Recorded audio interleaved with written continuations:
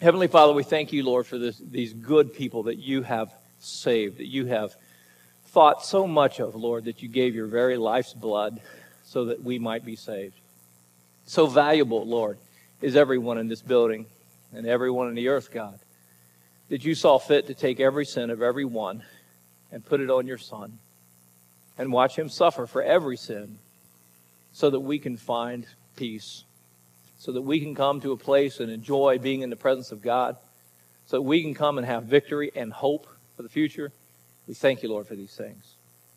Father, I pray that you bless the preaching of your word today, Lord. Lord, help me to speak in the prophetic, the word that you want for your people today. Thank you, Lord, for all your giftings. May we have ears to hear your word as it comes forth in Jesus' name. Amen. As I'm going through the New Testament, in this particular case, the book of Romans, there are times where I am tempted to try to adjust my message according to who I think is here. That's a bad idea. I learned that a long time ago. I was warned about that in Bible college, and it's never a good idea. Um, I never, I never talk to you and say, "Ooh, I know what I'm preaching about Sunday." You know what Ned did or whatever. You know, I don't do that. I don't do that. However, sometimes I I feel like, wow, we have new people here who have never, first time at church in a long time, and we're going deep in doctrine, you know, hello. And, you know, Lord, you know what you're doing? I'm pretty sure He does. I'm pretty sure He does. And I also know that if we don't get deep in some doctrine, then we never really grow much. You want some real simple uh, milk from the Word of God? Love God, hate sin. Quit lying, quit stealing, read your Bible, pray, end of sermon. There's your milk sermon, all right? But when we get into the meat of the word, there's more to it. There's some attention that's required. There's, there are uh, uh, words like sanctification, justification, uh, righteousness, and words like this we have to uh, begin to define and understand. And we're into the meat of that right now. There's a lot of this. But I'm trusting that as I'm preaching the word here, that God is doing something that is building firm foundations within you, strengthening your inner man in ways that you may not even see this week, but have been making you into a stronger person.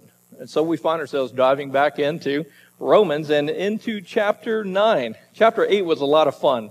Starts out with, There is therefore no condemnation to those who are in Christ Jesus who do not walk according to flesh, but according to the Spirit. About living according to the Spirit, having victory, overcoming, that there's neither height nor depth nor principalities, anything that shall keep me from the love of God which is in Christ Jesus. A lot of fun.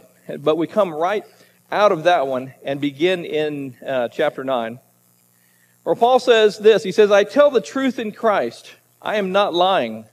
My conscience also bearing me witness in the Holy Spirit. I want to stop there for a second because sometimes just those little nuggets of teaching that, that make an impact in our lives. I tell you the truth. Oh, that's a good idea. I am not lying. Let me tell you something. I'm uncomfortable with the fact that Paul had to put that in there. The Holy Spirit did not ask my opinion about what to put at that in there. So my job is to preach it. I'm uncomfortable with the notion that Paul would even have to say about himself, I am not lying. Because when you have to say that you're not lying, a lot of times we associate with that, well, you must not tell the truth all the time, or you wouldn't have to point out the times that you're lying and not. Now, that's not what's going on here, though. The Apostle Paul always uh, it, it, preached the truth and taught the truth, and we believe the words that we have recorded of him as truth, as the scriptures. So, so why does he say, I tell the truth in Christ, I am not lying? My conscience bearing witness. In the Holy Spirit, he says, I, I, I'm definitely not lying. Why would he have to say something so emphatic?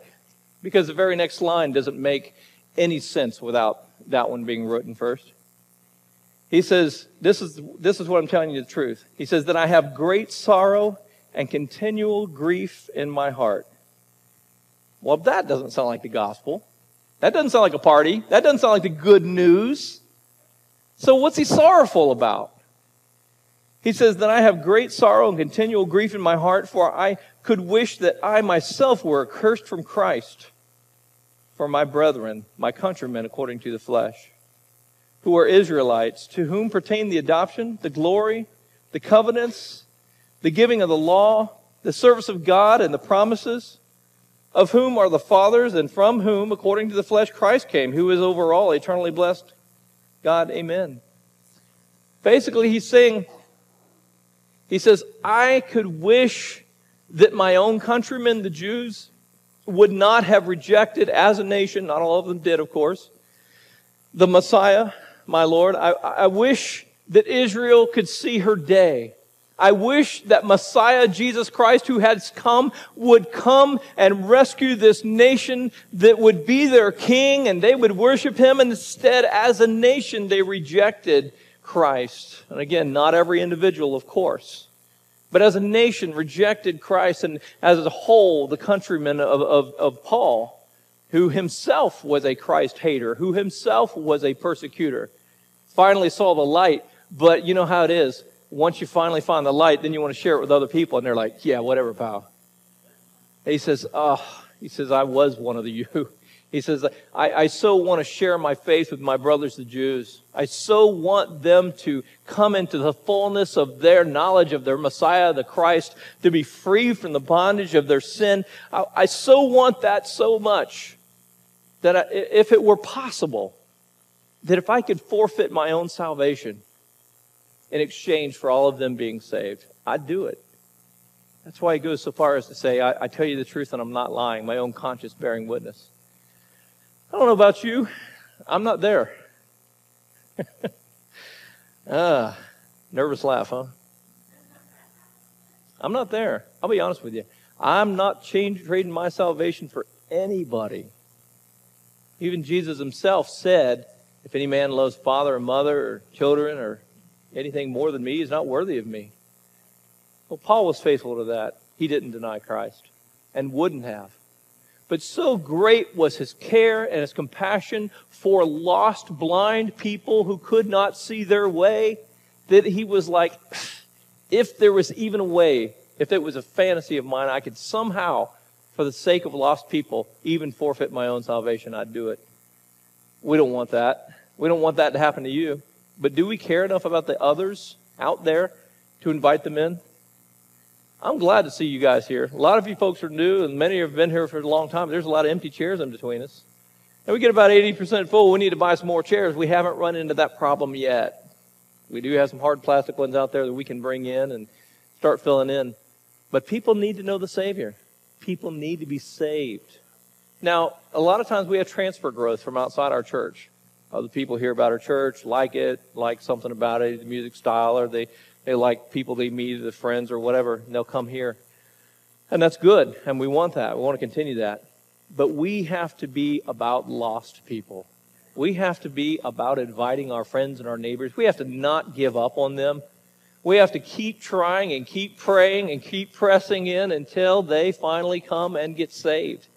Paul had a had such a burden for his own countrymen and you say, well, gosh, that's kind of racist of him just to only be about his own race, his own race of people. Oh, wait a minute. This was while he was writing to the Romans, very non Jewish folk, while he was being the apostle to the Gentiles, all of whom were not uh, of that uh, stripe and trade. He cared for people, and we need to care for people enough to invite people in to hear the gospel and be changed. Well, let me move on with it.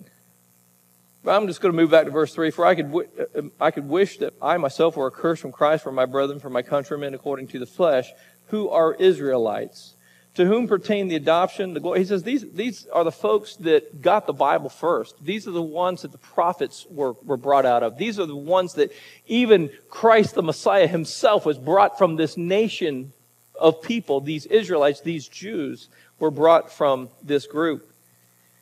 Let me uh, just point out theologically that sprinkled throughout here at the end of verse 4. It says, uh, the, uh, For whom pertain the adoption of the glory, the covenants, the giving of the law, the service of God, and the promises. Verse 5 Of whom are the fathers, and from whom, according to the flesh, who came? Who's that? Oh, yeah, Jesus, right. Jesus the Christ. Christ is the English, or excuse me, the Greek form of uh, the Hebrew Messiah. Christ the Messiah, whom according to the flesh, Christ came, who is overall the eternally blessed, what? God. Huh. By the way, just throwing that in there theologically, Jesus Christ is God. He's the Son of God. He's known as God the Son. There's God the Father, God the Son, God the Holy Spirit. Last week, last week we talked about the, the, uh, the Spirit of Christ, the Spirit of God, the Spirit of Christ, and those, those being interchangeable and yet different persons. Um, we're not talking about the Trinity as a, as a teaching this morning, but the mystery of God that, that three are one and one is in three persons is, uh, is never lost on me as I run across proof texts of it throughout the scriptures that whenever we uh, pray to Jesus, we're praying to God. And when we pray to the Father in Jesus' name, we're praying to God. And when we, when we let the Holy Spirit work through us, we're yielding ourselves to God. And when we pray to Jesus Christ to come into our heart, the Spirit of Christ, who is God, comes into our heart. Well, which is it? Father, Son, and Holy Spirit? Yes, yes, and yes. Christ came, who is God. Those are the little highlighted words I put in there. In the flesh Christ came, who is God. Amen. Verse 6.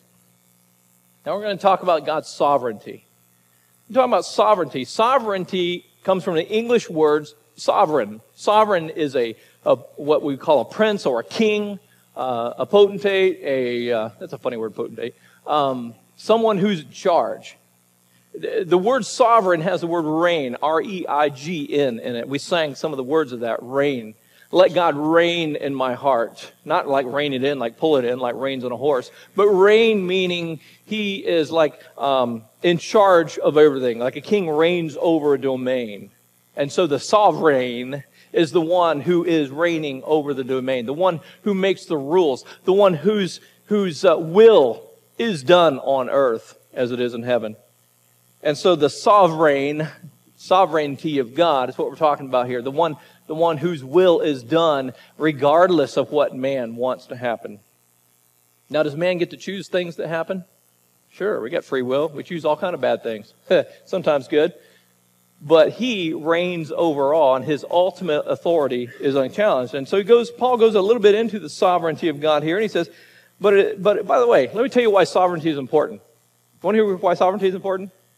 Sovereignty is important because if he reigns in your heart, then you are on the right track.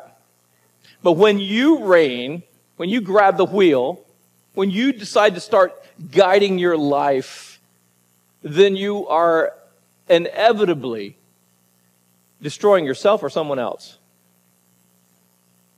Both, or whoever. Whenever you let go of the wheel, you hit things.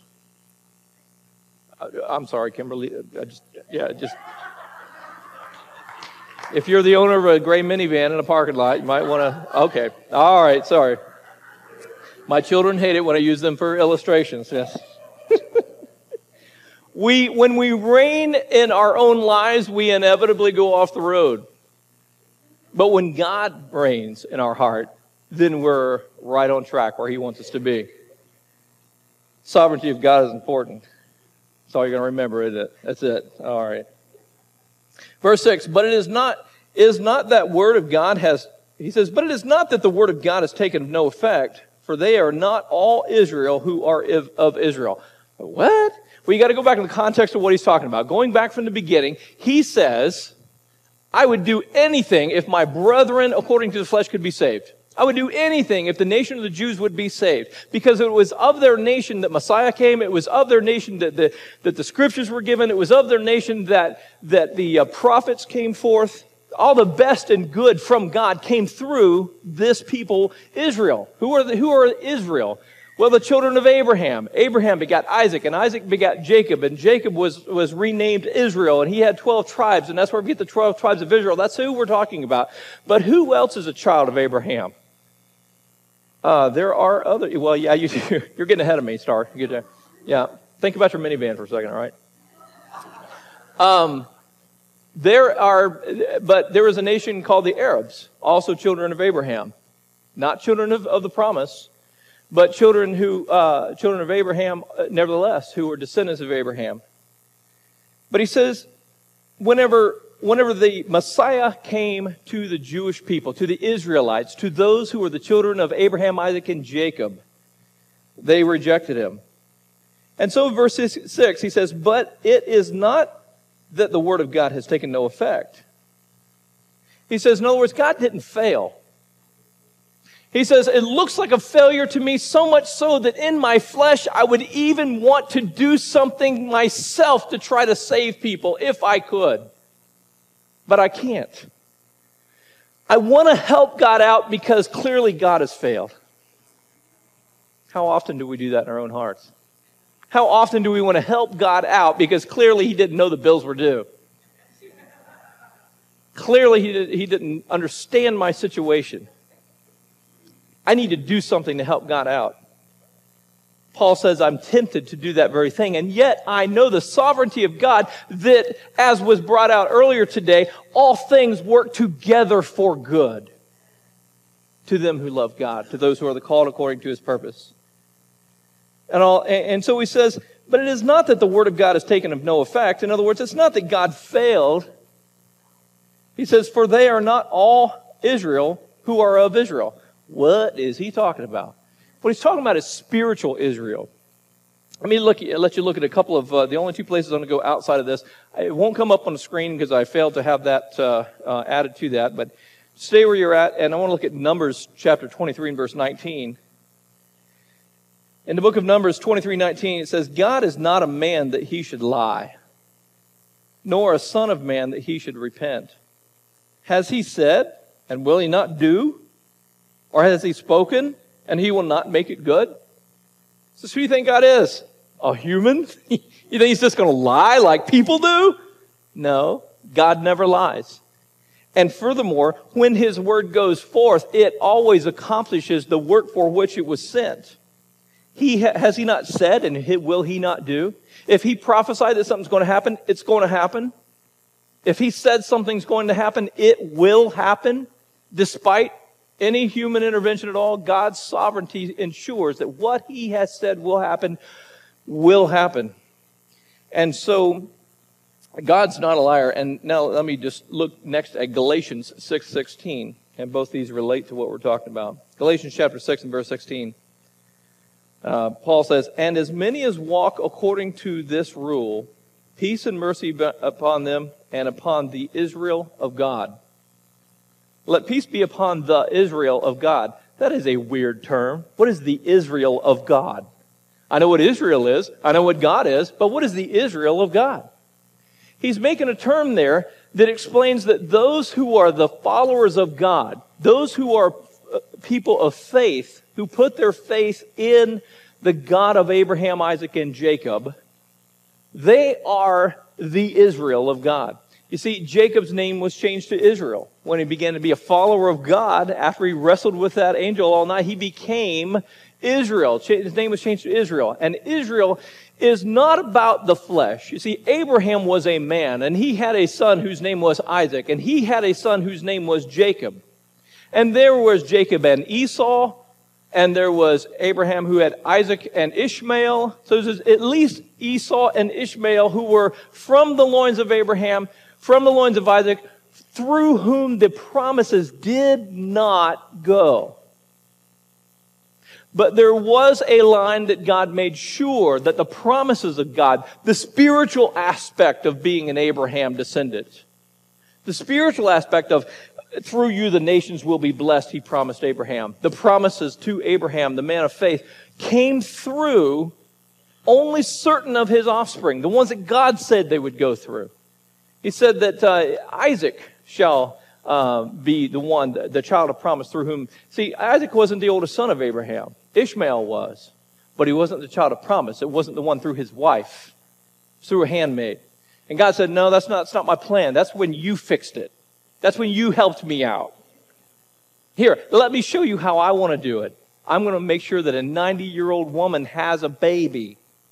And that's going to be a miracle that shows that only God can do this thing. And through Isaac, uh, the promise went forth.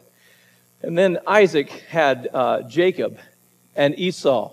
And the scripture said ahead of time that, that the uh, younger would serve uh, or would rule over the older.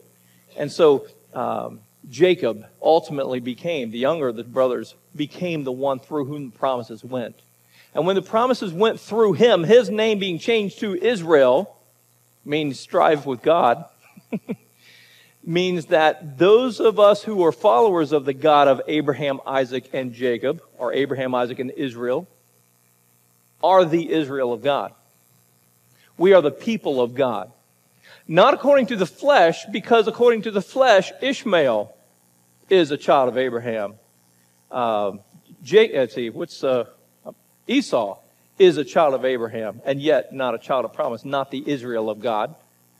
So when God expanded forgiveness of sins to the entire human race, including us Gentiles, we had the opportunity to become the Israel of God, the spiritually speaking children of Abraham. Now, why is that important today? I learned something new. I found out I'm a spiritual child of Abraham. Because when I say the blessing at the end of this, you're all like, I want that. I want that. Give it. May you be blessed in the city and the field. You come and you, I want that. That's the blessing to Abraham and to Israel, the spiritual followers of spiritual faith filled Abraham. And so, wherever he goes back to verse, when we go back to uh, Romans chapter uh, 9 and verse 6 here, it says, But it is not that the word of God has taken no effect, that it didn't save the majority of the Israelites. For they are not all Israel who are of Israel. They are not all of Abraham's seed, in other words, that are of spiritual Israel. There are others. There are others there are others who by faith have followed the God of Abraham, Isaac, and Jacob, and you and me are the Israel of God. And so we become uh, followers of him and spiritually children of Abraham. It says, Nor are they all children because they are the seed of Abraham, but in Isaac your seed shall be called. That is, those who are the children of the flesh, these are not the children of God, but the children of the promise are counted as the seed, verse 8 says. For this is the word of promise. At this time I will come and Sarah will have a son. And not only this, but when Rebekah also had conceived by one man, even by our father Isaac, for the children not yet being born, nor having done any good or evil, that the purpose of God according to election might stand. There's a new word there, election. Not talking about a political election. This is an election where only one person votes. Guess who? God. This is the kind of election that God votes is the only one. According to the election, uh, might stand, not of works, but of him who calls. He begins to talk about this notion and uh, of, of the idea of God deciding everything. That he is the ultimate decider of all things. His will, his sovereignty cannot be overcome. Though he gives us free will, we cannot overrule his rule. He gives us space. He lets us make our mistakes. He lets the human race screw up the planet and themselves a whole lot more than I would if I were God. But again, he didn't ask me. But within His will, within His sovereignty, within His reign, He lets us make our many decisions. But the maximal decisions, the ultimate decisions that come all the way down through humanity, all the way down to the subatomic particle level and beyond, are His and His alone. He is sovereign over all things. And so He begins to introduce the idea that can be very troubling to us. And let me read a little further.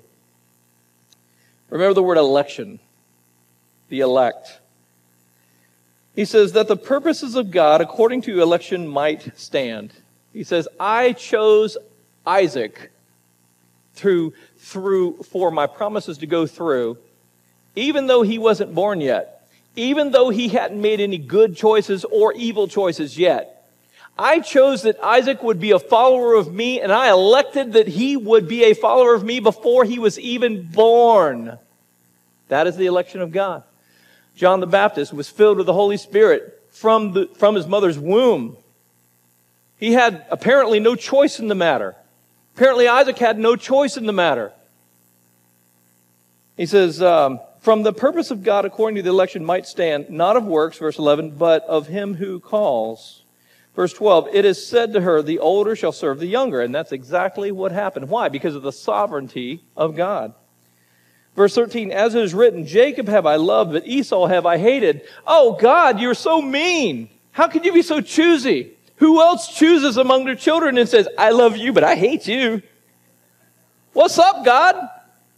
And we put ourselves potentially in the place again of correcting God. But God knew what we don't. he elected ahead of time what he would have done. As is written, Jacob have I loved, but Esau have I hated. Verse 14. What shall we say then? Probably something stupid if we did say anything. Is there unrighteousness with God? Yep, that's stupid. no, there is no unrighteousness with God. Is there unrighteousness with God? Certainly not, Paul says. In verse 15, he's, for he says to Moses, I will have mercy on whoever, whoever I will have mercy, and I will have compassion on whomever I will have compassion. Well, so then it is not who wills, him who wills, nor of him who runs, but God who shows mercy. So God gets to choose whom he's going to have mercy on, those he won't have mercy on. Hmm. He explains further in verse 17. For the scripture says to the Pharaoh, For this very purpose I have raised you up. What purpose? What purpose, God? That I might show my power in you. Oh, that sounds great. And that my name may be declared in the earth. That's awesome. Wait a minute, I got to be the bad guy? You ever see Wreck It Ralph? Remember the bad guy, Wreck It Ralph? He wants to be the good guy because he's tired of being the bad guy. Apparently, that wasn't Pharaoh. he just got to be, he got voluntold to be the bad guy in this story, did, did Pharaoh. And Pharaoh did a great job of being the bad guy in the story. Well, whose choice was that? Was it Pharaoh's or God's? Anybody? Yeah, there's a stump the pastor question. Yes and yes. It is definitely the sovereignty of God that picked Pharaoh and said, You're the bad guy, and you will play the bad guy throughout this entire ordeal. You have no choice in the matter. The more you get pleaded with, you, the harder your heart will become. The scripture is very clear that this is indeed what indeed happened to Pharaoh. Pharaoh had not a prayer of repentance because God hardened his heart It says that in the Old Testament, confirms it here in the New Testament. What shall we say then? Is God not fair? Is there unrighteousness with God that he should be so choosy that he would choose? What, what gives God? Verse 18 says, Therefore he has mercy on whom he wills, and whom he wills, he hardens. So, what's the next obvious question? What about me? Has God chosen that I'm bad? Has God chosen that I'm good? Do I have any choice in the matter at all? So, what's the answer? Anybody want to weigh in on that one? Yes and yes. what are you talking about? Well, let's hang with me. Verse 19 says, You will say then to, to you will say to me then, why has he why does he still find fault? For who has resisted his will? Who has resisted God's will? How does God find fault in me if I keep screwing up and he declared the election from the beginning? He outvoted me from the beginning. How can God hold against me my evil actions? Or how can anyone brag if they're good? For God has already decided it. That's the election, excuse me, that's the, that's the sovereignty of God. Well, let's stop right there for a second. And I'm going to Romans chapter 8. I don't if you can bring that up on the screen, that'd be awesome, Jerry. Romans 8, 29 and 30, just those two verses. Romans chapter 8, verses 29 and 30, just backing up one chapter. It says this. Now I'm going to go back up to Romans uh, verse 28, first of all, a familiar verse. It says, And we know that all things work together for good to those who love God is that good news? All things working together for good? That's good, right? Well, how does he figure all that stuff out? How does he make sure that the crappy stuff that happens in your life turns out for good? Does he wake up in the morning, look at the mess, and say, Oh my goodness, what am I going to do with this? Okay, let's see, let me make this happen and that happen. Is that what God does? According to this scripture, he already knew what was going to happen anyway which allows him to do something very for us. He, it allows God to allow what Satan meant for evil to be turned around to something good for us which makes us happy people, which makes us thank God and bring glory to Him. That's how that works. Now, I'm real excited about it when it works like that. I doubt Pharaoh was too excited about it. Because the foreknowledge of God, he knows what's going to happen before it happens. He knows the decisions we'll make before we make them. Could even be argued that he has predetermined what we will say and do. Although I would challenge you to find that exact point in Scripture. Just don't stump me, that's all, that's right. All things work together for good to those who love God, to those who are the called according to his purpose. Woohoo! God knows everything and he makes it all work out. Isn't that great? That's the sovereignty of God. I love the sovereignty of God when it's on my side. It really bothers me when it seems like it's not on my side. And so in verse 29, Romans 8 29 says, For whom he, this is an incredible revelation of a mystery of how people get good and how people became bad from before the world was even spoken into existence. This is a little snippet of understanding. Don't miss it, it's good stuff. Verse 29, he says, For whom he foreknew, he also predestined to be conformed to the image of his Son, that he might be the firstborn among many brethren. Moreover, whom he predestined, these he also called. And whom he called, them he also justified. And whom he justified, them he also glorified. So there's the progression of events. Let me take you to eternity past. Before, in the beginning. In the beginning, God created time. And then the rest of creation sprung from that. But before the universe was created, before he declared something called time to be part of the, the three or four different dimensions that we experience as human beings, in eternity past, God knew some things. Before he got started, he had a plan. Before he got, he knew what random things would occur before they occurred. And something even more amazing, he knew you before you existed. Before you were even conceived in your mother's womb, God knew you.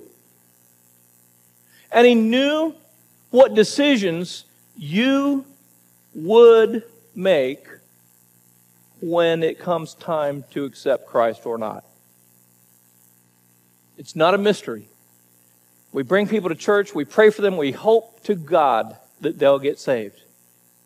We pray for them. We believe. We, we minister. We hope they get saved. God's not hoping anything. He already knows. God knew from eternity past who would be saved and who would not. So if God knows it all, then why do we even bother with evangelism? It's no mystery then, is it? Oh, because you don't know. And I don't know. This is my best shot. Let me just read it again real quick, and then I'm going to uh, uh, make a few comments about it. Whom he foreknew, that means he knew you ahead of time. How did he know me when I didn't exist? Because he's God. How did he know that I would accept him as Savior before the world began? Because he's God. He could, he knew you would be a person. He knew I would be a person that on April 1st of 1979 would get, give his heart to the Lord if given a chance. He knew that before the foundation of the world, before there was an April anything before there was anything. He knew that given the chance, I would be one of the ones who get saved. Whom he foreknew, he predestined. Do you believe in predestination? I do. It's right here. I believe in predestination. I believe in predestination that I am predestined to be a Christian. I am predestined to be conformed to the image of his son. By the way, the conforming to the image of his son, that's what happens after you get saved. I get saved. I'm still like living like hell. I'm doing what I want to do. And God's saying, huh, we're not going to do that no more. We got a new sheriff in town. We got some things we're going to do a little different. He starts to conform us to the image of his son. We start to look more like Jesus. So whom he foreknew, he predestined, decided ahead of time, and set me on a destined path to do what? To not only to, to be conformed to the image of his son. Now it does not say whom he foreknew he destined to be saved. slight, subtle, but very important difference. God did not decide that I would be saved for me. I made that choice. But He knew ahead of time. Okay. You and I have one thing that we own. One thing. That is our choice. And really, there's only one choice that really matters. Did you say yes to Jesus or no? And if you said yes to Jesus, then you were predestined, then you were predestined to be conformed to the image of his son. If he foreknew that you would say no to Christ and never be saved, then you were predestined to be a vessel of dishonor, like, like um, Pharaoh. Whom he foreknew, he also predestined to be conformed to the image of his son, that he might be the firstborn among many brethren. Moreover, whom he predestined, those he also called. So therefore, we are the called of God. Whom he called, these he also justified. That's salvation. He makes us just as if we never sinned. He didn't justify everybody, just those that he called. He didn't call everybody, but only those who he predestined. He didn't predestine everybody, only those who, um, who he foreknew. Well, how did he foreknow? Because he's God. What did he foreknow? He foreknew that you would get saved, if given a chance, that you could choose. Then he also justified. And whom he justified, them he also ultimately glorified. One day with a new body and everything. So here's how this works God created heaven and earth and he set humanity in motion, and he played out all of history, and he recorded it on one of those old reel-to-reel video cameras, you know, those old reel-to-reel tapes like you had when, in school when I was a kid, you know. I don't know if anybody under 50. those old movies that you could play them backwards, remember? You could play the movie backwards and laugh and watch people do crazy things. Now, did God really create everything, film at all? I don't know. I don't think so. But an easy way for our finite minds to grasp this is God created a world, set humans on the planet, they reproduced. There was all this wars and stuff that happens, and, and then the cross and Christ, and then generations and the persecutions and the, and the Middle Ages, and then the, in the modern era and the American Revolution, and then Steve gets on, comes along. And then he gets to see yeah, thank you. And then he, and he sees that you and me, we get saved. Whose choice was that? Ours. We chose that. Now, I'm not saying this is how it really goes, but this is what makes sense to me. We've done this play before. We've been here before. You talking about like uh, reincarnation? No, I'm not. Uh, I'm not trying to stretch the theology to the point of, of falsehood, but my finite mind's got to understand it this way. God knew what was going to happen throughout history and time. He knew what decisions I would make as if He had already done it, as if He had filmed it along the way. He is the director, He's the author of the film. He created all the scenery, the sets, He put the players in place, and I volunteered to be an actor. And I said, I want the part of the good guy. I want to be saved. I want to be the hero. I want to, well, Jesus gets to be the hero. I just get to be one of the extras. But I, I, I, want, I want to be on the good guy side. And the Lord said, okay, you get to be here. No red shirts. And then Pharaoh says, what, uh, what about me? Well, do you want to be a good guy? No. Well, you get to be Pharaoh then. Okay, you get to be the bad guy. And now, time to play the film. And we all say our parts just like it was scripted.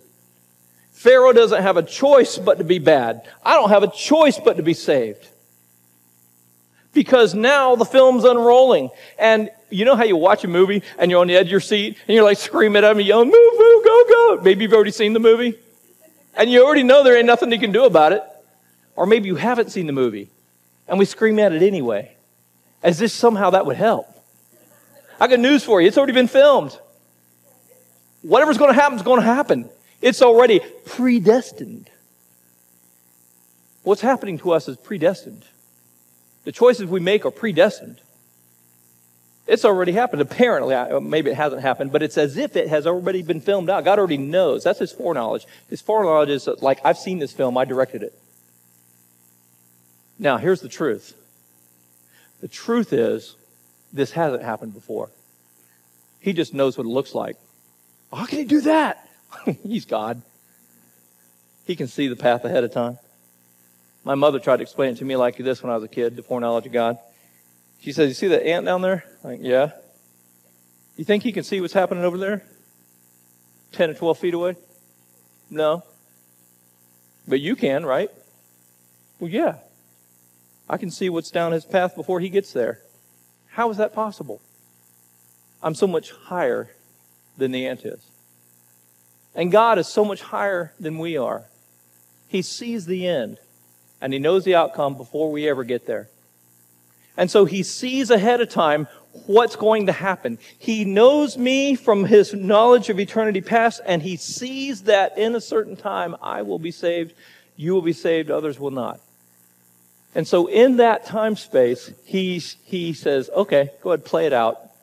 Along the way, Steve's going to get saved over here in April 1979. Uh, and from that point on, I'm going to start making cool things happen to him and his family. I'm going to start making provision.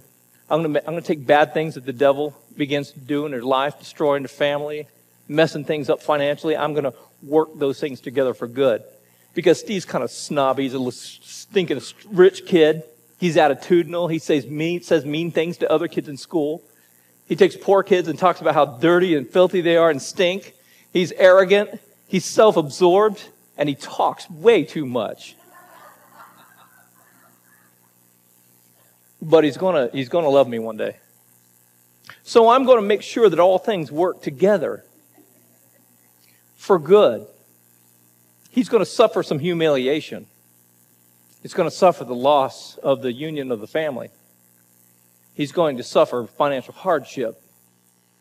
He's going to suffer some things that are going to teach him things I want him to know, like faith believing in the God that you cannot see, believing that all things are going to work together for good because he knows from way back what's going to happen up there. He can see it because he's so high and we are not.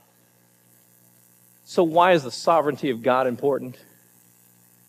Because he knows what happens to you before it even happens. So, where does that leave us? Do we have any choice in the matter? Are we pretty much stuck playing the role we're in? If I'm bad tomorrow, it's like, well, blame God. I decided to go rob a bank tomorrow. it's predestined. Nope. Everybody say nope. Why?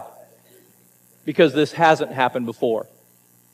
He saw from eternity past, but I am responsible for the actions I have right now.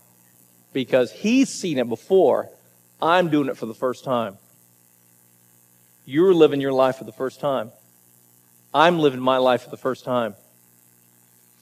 And so the decisions I make in this life really do matter. The decisions I make for following the Lord, being faithful to my wife, paying my taxes, whatever those things that God would have us do in our life, the decisions we make, we're making for the first time now, and we are responsible for our actions. But God, who from eternity past foreknew that you would be saved, has already started events in the world that will have effect on you and everyone around us who are the called according to his purpose. Take comfort in the sovereignty of God. He saw this coming he didn't wake up this morning and see the headline of your life and go, oh my God.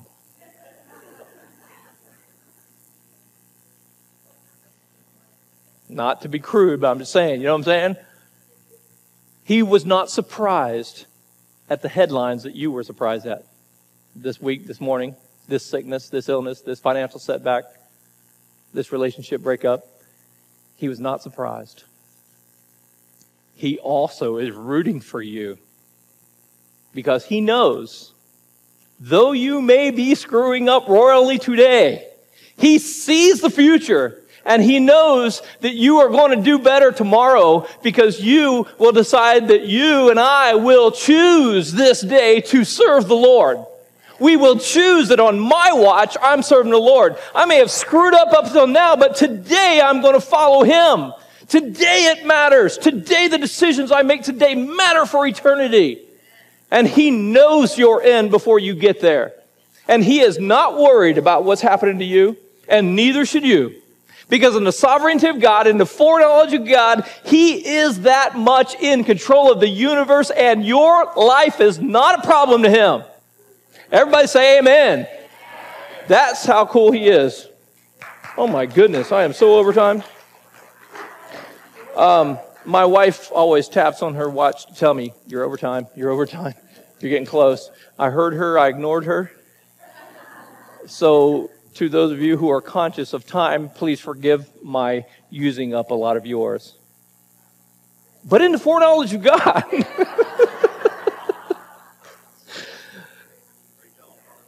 close your eyes if you would just for a moment. If you're here for the first time today or have been here for many, many moons, but today is your day for salvation, this is the day that you choose to give your life to God. If that's you today, would you raise your hand and say, I need to be saved? I need Jesus to save my soul? Anybody here today say, That's me? Just be brave, stick your hand up. You don't have to. But, all right. I don't see any hands raised today. That means everybody here is saved. Then I hope that in the foreknowledge of God, He sees this place filled with people who aren't saved next week. Because they may have already been predetermined from the foundation of the world whether they're going to be saved or not, but we don't know yet. So God has sent you and I on a mission to go reach them, to go into the highways and hedges and compel them to come in, that his house may be filled. Let us be faithful to his work. Lord, I pray that we'd be faithful in evangelism, but Lord, let us be faithful in discipleship. Let us be faithful in worship. Let us be faithful in fellowship. Let us be faithful in ministering to one another because, Lord, this is our first time through. And I pray that you would help us to be faithful now. You knowing this future, you knowing the failures and the, the accomplishments that we will do and face are working all things together for good. Teach us faith to believe that you are in control. Let us trust in your sovereignty. And Lord, let us have peace in that knowledge. In Jesus' name I pray. Amen. Stand if you would for the blessing.